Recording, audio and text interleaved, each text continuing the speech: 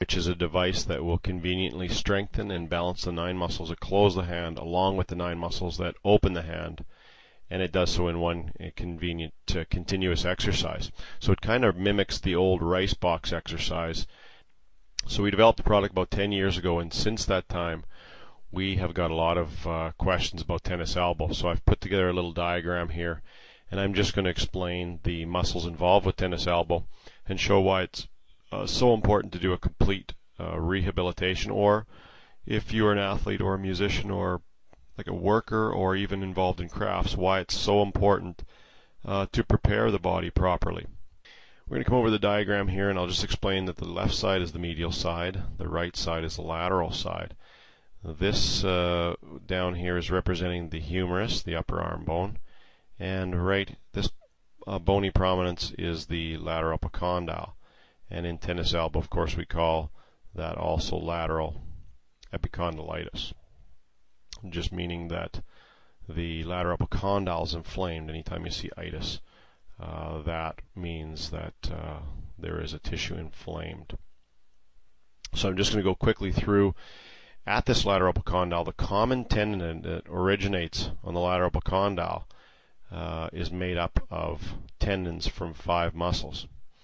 Um, so the first muscle is that we're going to go through is the extensor uh, extensor carpi radialis longus, and that's going to start at the lateral epicondyle, and it's going to insert into uh, into the uh, second metacarpal bone. Um, so that's the I'll just write it down here. Extensor carpi radialis longus. Okay. The second one is going to be extensor carpi radialis brevis. and then the third muscle path is going to show the extensor carpi ulnaris.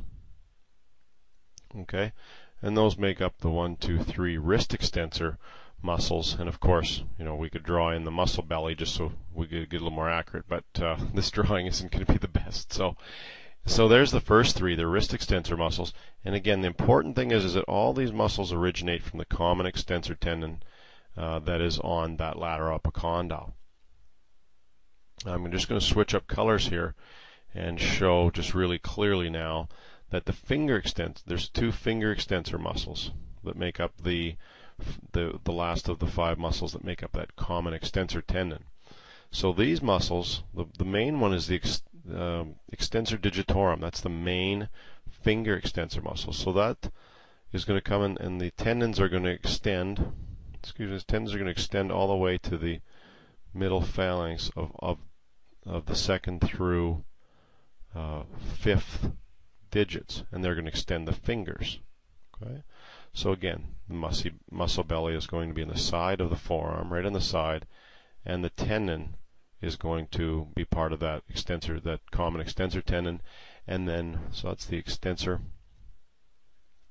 uh, digitorum and the last is going to be extensor digiti minimi, which is basically just an extensor of the small finger. Not a large muscle by any stretch, but, but very much involved and can be involved in a uh, tennis elbow situation. So now that you see what this common in this common extensor, the common extensor tendon is what is the tendon that gets um, that gets aggravated in a in a tennis elbow situation. So let's just acknowledge and, and let's look to see that we have got uh, five tendons that come in to make up that, and they come from three wrist extensor muscles and two finger extensor muscles. So important to stabilize those. We need to properly rehabilitate uh, those five muscles through exercise, through a full range of motion, when it is time to use exercise rehabilitation for tennis elbow. Now I also want to show that whenever we grip something, in tennis elbow is the the tennis elbow cases we always see the most in are in grip related sports. Now people will say it's it's where there's wrist extension or where there's forearm rotation, but you'll notice in all the sports or the activities where you see tennis elbow commonly.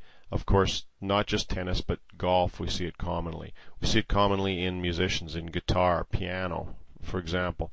Anything where the fingers are going into a grip and into a flexion situation. What happens is that whenever we grasp something, the first thing that happens is that the finger extensor muscles contract. And that is in order to stabilize uh, to stabilize the grip. So whenever these finger muscles are contracting, they become very stagnant over time unless they are properly exercised. And that's the that's what we're talking about. So the finger, of the main finger muscles, and again we were talking about the finger of the uh, extensor digitorum, okay, being one of the main finger muscles, and the, the belly would be of course right here, as well as extensor digiti minimi. Okay, now these muscles will contract, and actually they will contract through a small range of motion, so they become that's over time a very stagnant, ropey, inflexible muscle. And that is one of the situations where now, over time, if that those muscles aren't exercised through a full range of motion, they become very easy to injure. Okay? Now, when you couple that, so now all of a sudden when we're gripping, when we grip something now, okay, if we have to do uh, extension,